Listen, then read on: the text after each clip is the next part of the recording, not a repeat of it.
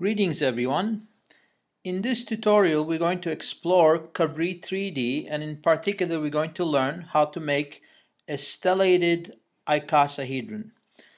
And this will give us some feeling how uh, this software works. Uh, when we are all done we're going to see uh, a shape that is uh, like this one.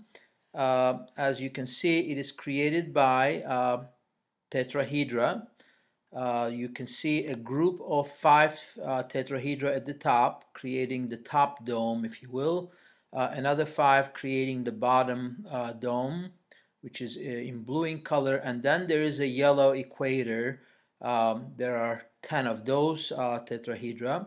So you can see in total there are 20 tetrahedra that are planted on a icosahedron which has as you may recall 20 faces so let's learn how to do this. Um, so we go to Cabri 3D and we open a blank uh, page. And uh, remember, you can turn around your environment in Cabri 3D in the Macintosh by pressing the Control uh, key. Uh, and uh, I believe there's a version of that uh, should be also available in the PCs. Um, so what I do is I go to my icons, uh, second to the last one is where all the platonic solids are. This is actually where you could have a lot of fun playing with. I'm going to select the one that is the regular icosahedron.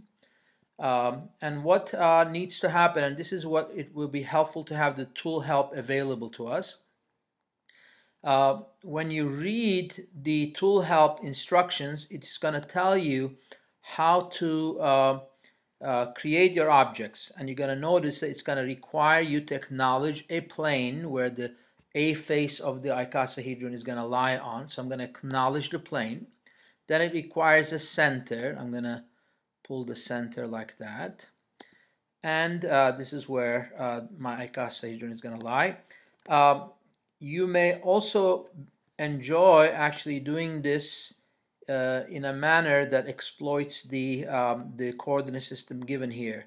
Acknowledge the plane, start at the origin, and then end at uh, the end of the unit vectors here. Okay.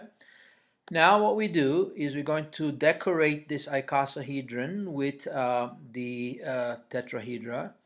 So I go to regular tetrahedron and observe all I need to do is come close to the proximity uh, of the uh, icosahedron, it's going to nicely snap. Uh, so that I don't get confused which one is which, what I'm going to do actually, I'm going to right click. Let's go back to the arrow. And I'm going to right click on the, um, so control click in, Ma in the Macintosh. Uh, on the icosahedron and what I'm going to do I'm going to change the surface color to something else so I don't get confused which one is which so I do that, so that way I now know that this is the uh, foundation of the stellated shape we're going to create.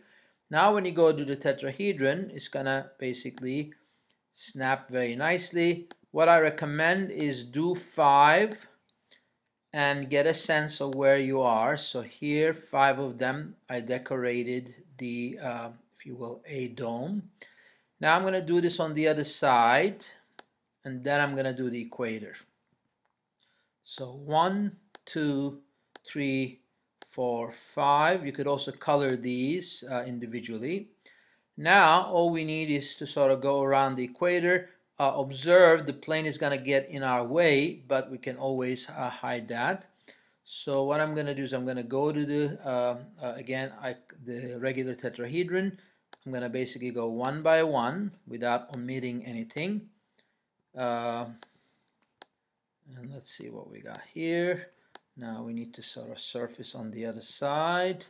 I put one here, one there, one there, one there, and one there.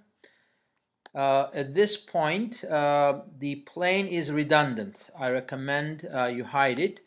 Uh, you hide things by, uh, first of all, always let's make sure we are in the arrow mode when we're selecting things. I select this and then uh, I believe there's a hide and show option uh, at the edit menu.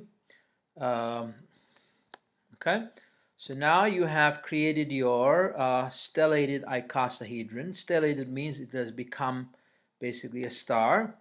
Uh, here's a cool trick. Uh, you can actually right click or control click on the background and make it any color that you want. So you could choose a cool color to go uh, with your background. Uh, maybe we'll just choose black here.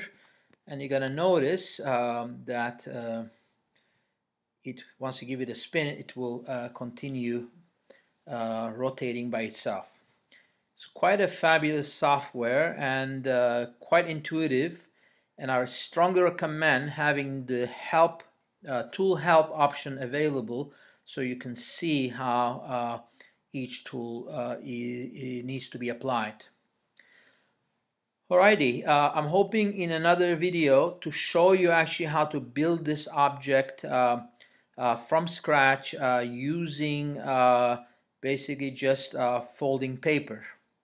So this is quite easy. Once you understand how to create a tetrahedron, it is quite easy to create 20 of them and create the domes and the equator and put all of this together.